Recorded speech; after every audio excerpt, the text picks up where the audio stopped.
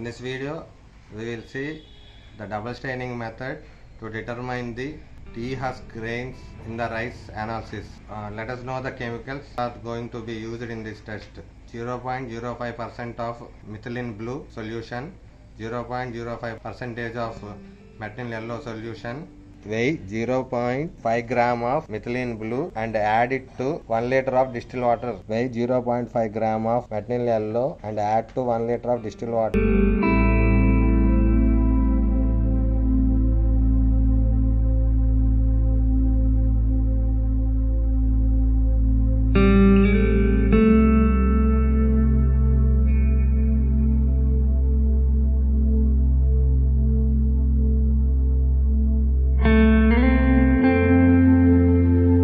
gram of head rice and count the number of grains in 5 grams. 5 gram of rice, we have 350 grains. Note this number and then start the process. Take 5 gram of rice in a petri dish and add 20 ml of methylene blue and wait for 1 minute.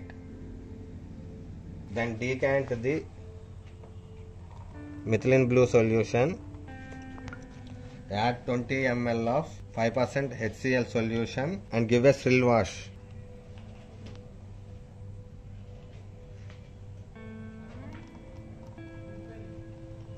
After washing with water, add 20 ml of metanil yellow solution. That's good.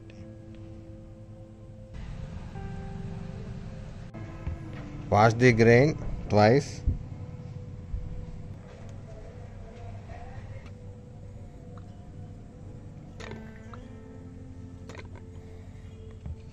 add water and pick the green grains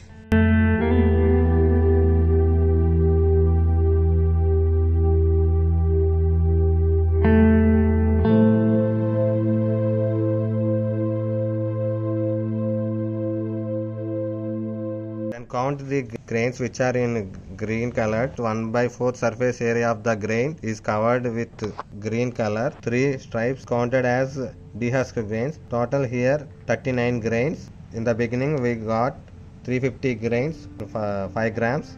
Then when we have to calculate the percentage 39 by 350 into 100 then we get the dehusk percentage it comes to 11.14 percent